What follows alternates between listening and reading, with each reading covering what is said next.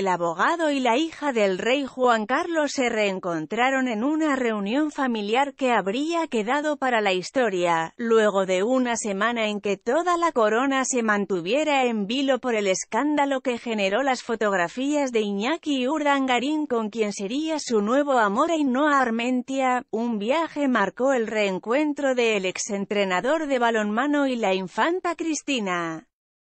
Ambos se habría visto cara a cara por primera vez en Suiza tras sufrir el peor escándalo de sus vidas. La revista Lecturas adelantó detalles del encuentro que habría terminado domingo 23 de enero, cuando Iñaki cogió el coche de vuelta para regresar a Vitoria, luego de emprender un viaje secreto para ver a la que fuera su mujer, pero también a sus hijos.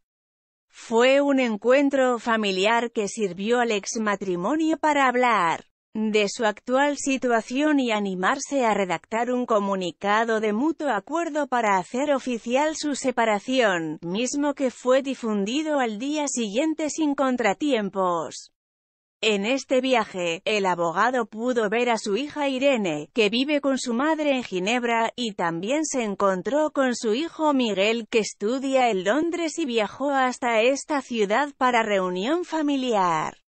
La foto que sella el encuentro es portada es Lecturas. Se trata del momento en que Iñaki Urdangarín acompañó a su hijo Miguel hasta el aeropuerto, donde se fundieron en un fuerte y cariñoso abrazo. El momento quedó perfectamente capturado por las cámaras.